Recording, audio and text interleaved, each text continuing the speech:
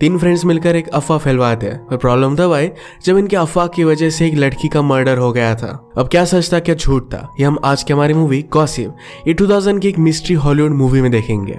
अगर आपको वीडियो अच्छा लगता है तो प्लीज़ इसे लाइक और कमेंट ज़रूर कर दीजिएगा। बिना किसी देरी के एक्सप्लेनेशन स्टार्ट करते हैं। मूवी स्टार्ट होती है और हम हमारी मेन कैरेक्टर कैथी को लाइब्रेरी में देख सकते हैं। बुक में उसके फ्रेंड जिसका नाम था डेरिक उसके लिए कुछ नोट्स रखे थे।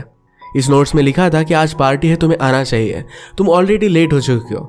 कैथी ने उसकी बात मान ली और वो पार्टी में आ गई हम देख सकते हैं कि कैथी, डेरिक और ट्रेविस ये तीनों बेस्ट फ्रेंड थे। ट्रेविस को एक लड़की पसंद आई, पर उसमें उतना ज़्यादा कॉन्फिडेंस नहीं था। कैथी ने कहा कि तुम एक आर्टिस्ट हो। लोगों से बहुत ही अच्छे से बात करते हो, अच्छे से उन्हें ट्रीट करते हो। जाकर उस लड़की के साथ तुम्हें बात करनी चाहिए। ट्रेविस उसकी बात मानकर उसे अप्रोच करता है। बारटेंडर ने कहा कि तुम्हारा फ्रेंड बहुत ही अजीब है। डायरेक्ट कोई बात अच्छी नहीं लगती, पर बारटेंडर का मज़ा लेने का वो डिसाइड करता है। उसने कहा कि ट्रेविस एक्चुअल में एक पॉप स्टार का बेटा है। वो बहुत ही ज़्यादा अमीर है। हमेशा उसके फादर इधर उधर रहा करते थे तो उसका पूरा बचपन होटल में गया शायद इसी वजह से वो जरा वियर्ड लगता है। इस बार टेंडर ने गेस किया कि ट्रेविस किसका बेटा हो सकता है। जब ट्रेविस वापस आया तो उन्हें वो फ्री ड्रिंक्स देता है। कैथी और डेरिक इस बात का बहुत मज़ा ले रहे थे। बाद में बार वालों को पता चल जाता है कि एक झूठ था और सबको बाहर निकाल दिया। ये तीनों फ्रेंड्स डायरेक्ट के हाउस में एक साथ ही रहते हैं। ट्रेविस को बुरा लगता है क्योंकि इस मंथ का रेंट वो दे नहीं पाया। डायरेक्ट उसे वैसे भी रेंट मांग नहीं रहा था। वो कहता है मेरे पास बहुत सारे पैसे हैं। मुझे ज़रूरत नहीं, इस वजह से तुम पे मत करना। ये तीनों कॉलेज में जर्नलिज्म पढ़ रहे थे। उनके प्रोफेसर लेक्चर में कह रहे थे कि रूमर क्या है और एक न्यूज़ क्या है। इसके बारे में डिफरेंस क्या होता है? अलग अलग लोगों ने ओपिनियन दिए, पर डायरेक्ट कहता है कि ये सारी एक सेम ही चीज़ है। बोलने बोलने से बात फैलती है और उसी की बाद में न्यूज़ बन जाती है। एट द एंड ये चीज़ें कुछ भी ज़्यादा मैटर नहीं करती। प्रोफेसर को ये बात उतनी ज़्यादा अच्छी नहीं लगी थी। ये डिस्कस कर रहे थे कि अपने सेमेस्टर के प्रोजेक्ट में वो क्या करेंगे। कैथी को एक आइडिया आया कि हमें एक रूमर स्टार्ट करना चाहिए। देखते हैं कि कितनी दूर तक फैलता है। आज रात भी तीनों मिलकर पार्टी में जाते हैं। डायरेक्ट कैथी के साथ फ्लर्ट करना चाहता है, पर कैथी उसे थोड़ा सा भी भाव नहीं देती। डेरिक की जिस भी लड़की के साथ रिलेशनशिप हुए उसके बाद उसने उसे छोड़ दिया था। कैथी उनमें से एक नहीं बनना चाहती थी। पार्टी में डेरेक को एक लड़की ने अप्रोच किया। उसने अपने क्लास में जो आंसर दिया था, वो उसे बहुत ही अच्छा लगा था।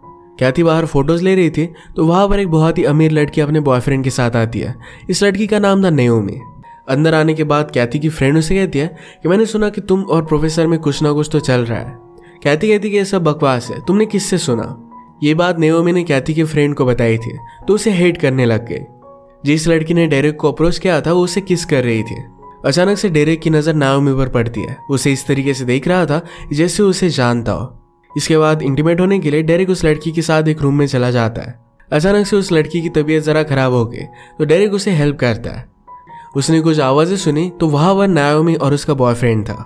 नायोमी ड्रंक थी और उसका बॉयफ्रेंड उसके साथ इंटीमेट होने की कोशिश कर रहा था। उसे इसके लिए मना कर दिया इनके बीच जो भी हुआ, ये सारी चीज़ें डेरेक ने देख ली। नेओमी के बॉयफ्रेंड के चले जाने के बाद डेरेक उसे बहुत ही गुस्से से देख रहा था। पार्टी के बाद सब फ्रेंड्स मिले तो डेरेक कहता है कि हमें नेओमी के बारे में एक रूमर फैलानी चाहिए। वो कहता है कि हम लोगों को बताएँगे कि दोनों पार्टी में इंटीमेट हुए थे।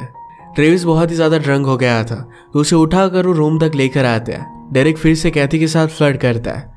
कैथी ने कहा कि हम दोनों के बीच में कुछ भी हो नहीं सकता। डेरेक कहता है कि इससे हमारी फ्रेंडशिप को कुछ भी फ़र्क नहीं पड़ेगा। ये दोनों किस करते हैं? पर कैथी फिर उससे दूर चली जाती है। उसने कहा कि मुझे कुछ भी फील नहीं हुआ। अगले दिन ड्राइविस ने प्लान किया कि किस तरीके से इस अफवाह को फैलाने वाले हैं। कैथी को ये करना ज़रा गलत लग रहा था, पर वो अपना माइंड चेंज कर लेती है। ये अफवाह स्टार्ट कर देते हैं और स्लोली स्लोली ये फैलती गई। फाइनली लोग ये भी कहने लग गए थे कि नायोमी दो तीन लोगों के साथ उस रूम में थी। इस तरीके से रूमर बनी, इस बात को लेकर ये सब बहुत हँसते हैं। ट्रेविस ने नायोमी के बहुत सारी फ़ोटोज़ निकाली और एक वॉल पर उससे वो आर्ट बनाने लग जाता है। डेरे के देख कर कहता है कि बहुत ही अमेजिंग है। ट्रेविस खुद का कॉन्फिडेंस लो कर कर कहता है, मैं इतना अमेजिंग हूँ, पर फिर भी मैं अपना रेंट पे नहीं कर पाता। डेरे कहता है कि जो भी बहुत ही इंटेलिजेंट आर्टिस्ट थे उन सबको लगता था कि उनका आर्ट उतना अच्छा नहीं है। यही तो हमें यूनिक बनाता है। जब नायोमी की फ्रेंड्स उसके बारे में बात कर रही थी तो सुन लेती है। इस बात से वो बहुत ही अपसेट हो गए। अगले दिन वो अपने बॉयफ्रेंड को कैफ़े में लेकर आई उससे पूछती है कि उस रात एक्चुअल में हुआ क्या था। बॉयफ्रेंड का नाम था बाओ और बाओ कहता है कि उस रात कुछ भी हुआ नहीं। तुम ड्रंक थी, सो गई और मैं वहाँ से चला गया। यही ट्रूथ है। नायोमी इस बात को नहीं मानती तो बाओ गुस्सा होकर वहाँ से चला जाता है। ये सारी चीज़ें कैथी देख रही थी। ये रूमर और भी फैल चुकी थी। ये जाकर सारे स्टूडेंट की इंटरव्यू लेते हैं। इनमें से बहुत सारे लोग कह रहे थे नायोमी अनकॉन्शियस हो गई थी। तभी बाओ ने उसका फ़ायदा उठाया। कैथी जरा सस्पिशियस हो गई अगर ये सच है तो उसके बहुत ही बड़े कंसिक्वेंसेस हो सकते हैं।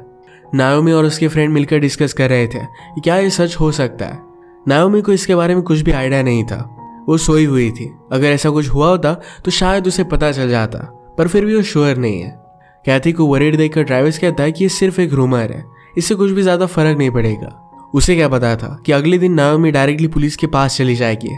उसने अपना स्टेटमेंट दिया तो डिटेक्टिव कहती कि मुझे बहुत ही अच्छे से डिटेल दो। न्योमी हंड्रेड परसेंट श्योर नहीं थी कि बाओ ने उसके साथ कुछ किया है भी या नहीं। बाओ को इन्वेस्टिगेशन के लिए लाया जाता है।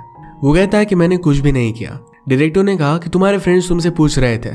तुमने कुछ भी बताया नहीं था। बाओ ने कहा कि उनकी इमेजिनेशन थी। जो उन्होंने कहा, वो मैंने उन्हें इमेजिन करने दिया। पर मैंने कुछ भी किया नहीं था। कैथी को जब ये बात पता चली तो गुस्सा हो गई थी। वो कहती कि पुलिस अब इसमें इन्वॉल्व हो चुके हैं। वो डेरिक से पूछते हैं कि क्या तुम हंड्रेड परसेंट श्योर हो कि उस रात नाओमी और बाओ के बीच में कुछ भी हुआ नहीं था? डेरिक कहता है कि मैं एटी परसेंट श्योर हूँ।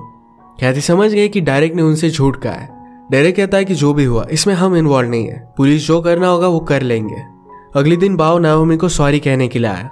नाओमी की फ्रेंड उसे मिलने देने के लिए रोक रही थी तो बाओ और उस फ्रेंड में ही झगड़ा हो जाता है। नेओमी और बाओ के सैंपल्स लेकर उन पर टेस्ट हुई थी, जिनमें कुछ भी कंक्लूजन आया नहीं था। नाओमी के पेरेंट्स बहुत ही रिच और इन्फ्लुएंशियल थे तो इस वजह से पुलिस पर भी प्रेशर आ रहा था। पुलिस फिर से जाकर बाओ को अरेस्ट कर लेते हैं। रात में कैथी नाओमी को मिलने के लिए आई। कैथी उससे पूछती कि पार्टी में जो भी हुआ था, क्या इस बात को लेकर तुम श्योर हो? नाओमी कहती कि तुम इस तरीके से यहाँ कैसे आए? तुम तो पहले मुझसे कभी भी बात नहीं करती थी। कैथी ने कहा कि तुमने मेरे बारे में एक रूमर फैलाई थी। नाओमी कहती कि ऐसा कुछ भी नहीं था। दोनों की मिसअंडरस्टैंडिंग खत्म हो गई तो ये बातें करने लग जाती है। नायोमी की सिटी से है, इसके बारे में कैथी को जब पता चला तो उसने कहा कि डेरिक भी वही से है। डेरिक का नाम सुनकर नायोमी बहुत ही ज़्यादा डिस्टर्ब हो गई वो कैथी को रूम से बाहर निकाल देती है। घर आकर कैथी ने डेरिक को कन्फर्म किया। वो कहती है कि तुम और नायोमी एक ही स्कूल में थे, और तुम उसे जानते भी नहीं। इस तरीके से क्यों प्रिटेंड कर रहे हो? डेरिक ने कहा कि मैं एक्चुअल में उसे नहीं जानता था। कैथी कहती को तुम्हारा नाम सुनकर डिस्टर्ब हो गई थी। ऐसा क्यों हुआ? डेरिक ने कहा कि मुझे बहुत सारी लड़कियाँ लाइक करती थी। नाओमी ने इस तरीके से बिहेव क्यों किया? इसके बारे में मुझे नहीं पता। वो उसके करीब आ गया और कहता है कि मैं तुमसे कभी भी झूठ नहीं कहूँगा। ये दोनों फिर किस करते और इंटीमेट हो गए। सुबह होने पर भी नाओमी की बात कैथी के माइंड से जा नहीं रही थी। वो डायरेक्टली उसकी सिटी में आ गए। उसने उनकी स्कूल की ईयरबुक देखी। उससे उसे पता चलता है डेरिक और नायोमी ये दोनों कपल थे। जाकर उस स्कूल के प्रिंसिपल से बात करती है। उसने पूछा कि नायोमी और डेरिक के बीच में क्या कुछ हुआ था। प्रिंसिपल उसे तुरंत स्कूल से बाहर निकाल देते हैं। ये बहुत ही सस्पिशियस था। वहाँ पर एक टीचर थी जो कैथी को कुछ बताना चाहती थी। बाहर आने के बाद कैथी ने उसे इंसिस्ट किया तो बताती कि रिच लोग उन्हें जो भी लगता है, वो वो कर डालते हैं और बाद में उन्हें कुछ भी कॉन्सिक्वेंसेस भुगतने नहीं पड़ते। टीचर ने उसे बता दिया कि डेरेक ने नाओमी को ज़बरदस्ती की थी। डेरेक ने कैथी को झूठ बोला, इस बात से वो बहुत ही गुस्सा हो गए और उसे कन्फ्रंट कर दिया। डेरेक कहता है कि मैं और में एक दूसरे से बहुत प्यार करते थे। एक रात हम करीब आ गए और इंटीमेट हो गए। उसके बाद सुबह नाओमी ने सबसे कहा कि मैंने उसे ज़बरदस्ती की थी। वो एक छोटी बच्ची की तरह बिहेव कर रही थी। डेरेक कहता है कि नाओमी ने मेरी पूरी रेपुटेशन खराब कर दी। मेरे पेरेंट्स भी मुझसे बात नहीं करते। डेरेक ने नाओमी के खिलाफ जो रूमर फैलाए, ये सिर्फ़ उसे एक बदला लेने का एक वे था। अगले दिन कैथी ने जाकर डिरेक्टिव से बात की। उसे सब कुछ सच सच बता दिया पर डिरेक्टिव उसकी बात नहीं मानती डिटेक्टिव को डायरेक्ट ने ऑलरेडी बताया था कैथी और बाओ के बीच में रिलेशनशिप है। तो इस वजह से उसकी कोई भी बात वो मानने के लिए रेडी नहीं थी। इसके बाद कैथी ट्रेविस के पास आ गई। कहती है, हमें सब कुछ सच सच बता देना चाहिए। ट्रेविस कहता है कि डेरिक हमेशा मुझे बहुत ही हेल्प करता है। उसके खिलाफ वो नहीं जा सकता। कैथी घर आकर बहुत ही अपसेट थी। वो रो रही थी। पर डेरिक उसे मना लेता है। वो रात में अब नेओमी से मिलने के लिए जा रहा था। पर रस्ते में उसे बाव देखा। ये रूमर फैलाने की वजह से बाव उस पर बहुत ही ज़्यादा गुस्सा था। उसे बहुत मारता है। डेरिक उसे कहता है कि नाव में एक पागल लड़की है। उसने जो मेरे साथ किया, यही चीज़ उसने तुम्हारे साथ भी की है। बाव उसकी बात मान नहीं रहा था तो उसे वो बहुत मारता है। उसके बाद वो नाओमी के पास पहुँच गया। डेरिक ने कहा कि तुम्हारे एक झूठ ने मेरी पूरी लाइफ बर्बाद कर दी तो मैंने तुमसे बदला लिया। उस रात तुम्हारे और बाव के बीच में कुछ भी हुआ नहीं था, पर मुझे पता था कि अगर मैंने अफवाह फैला दी तुम्हारा घटिया दिमाग तुमसे फिर से कहेगा कि बाव ने तुम्हारे साथ ज़बरदस्ती की थी, और तुमने वही किया। गुस्सा होकर नाव में उसे मारने लग जाती है तो फिर से डेरिक उसे ज़बरदस्ती करने लग गया। उसे रूम से बाहर निकाल देती है। घर आकर डेरिक कैथी से कहता है कि मैंने उसे सब कुछ सच सच बता दिया है। नावमी के साथ फाइट की वजह से डेरिक के फेस पर निशान बन गए थे। ट्रेविस बाहर से आकर कहता है कि नाओमी की डेथ हो चुकी है। थोड़ी देर में एक डिटेक्टिव इन्वेस्टिगेशन के लिए वहाँ पर पहुँच जाते हैं। उन्होंने कहा कि कल रात तुम नाओमी के रूम पर गए थे। हमने उसके बॉडी पर स्ट्रगल के निशान देखे।